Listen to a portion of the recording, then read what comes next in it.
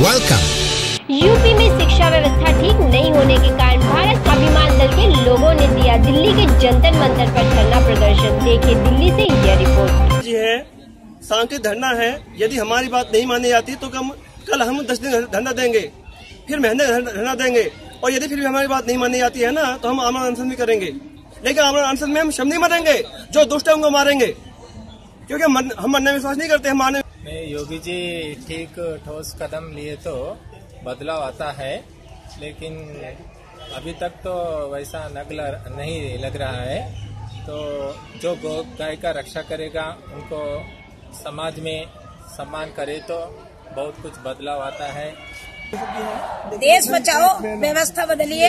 मेरा नारा ये है, मेरा नारा ये है कि जो सामान्य वर्ग के लोग हैं, गरीब तबके के लोग हैं, उनके लिए नौकरियाँ मिलना चाहिए, उनको उनका हक मिलना चाहिए। और बाकी क्या है, हमारी सरकार केवल गुमराह करती है। हमारे देश के लिए, हमारी देश की जनता के लिए गुमराह करती है, वो गुमराह नहीं करना चाहिए। या तो मैं राजेश भारत स्वाभिमान दल की तरफ़ से राष्ट्रीय प्रवक्ता के रूप में आपके समक्ष कुछ अपने बयान इस प्रकार रखना चाहता हूँ।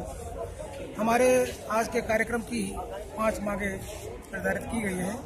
जैसा कि नंबर एक में जाति व्यवस्था को खत्म करने की बात दूसरी बात, आरक्षण व्यवस्था को समाप्त करने के साथ साथ जाति व्यवस्था को भी समाप्त किया जाए।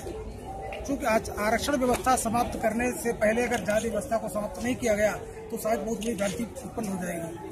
तीसरी बात है, गौ संवर्धन के संबंध में गाय को एक विशेष महत्वपूर्ण दर्जा दिया जाए और उनके रखरखाव के लिए जिला स्तर पर एक बड़े गौशाला के निर्माण की व्यवस्था ये भी एक बड़ी बात शामिल है। साथ साथ में एक शिक्षा से संबंधित एक बात अलग से कहना चाहूँगा कि जो समान शिक्षा नीति भारत में यदि लागू हो जाती है तो हम समझते हैं कि एक बहुत बड़ा परिवर्तन हो जाएगा। क्योंकि आज के परिवेश में हम देखते हैं, गरीब लोगों के बच्चे प्राइमरी स्कूलों में पढ़ने के लिए जाते हैं।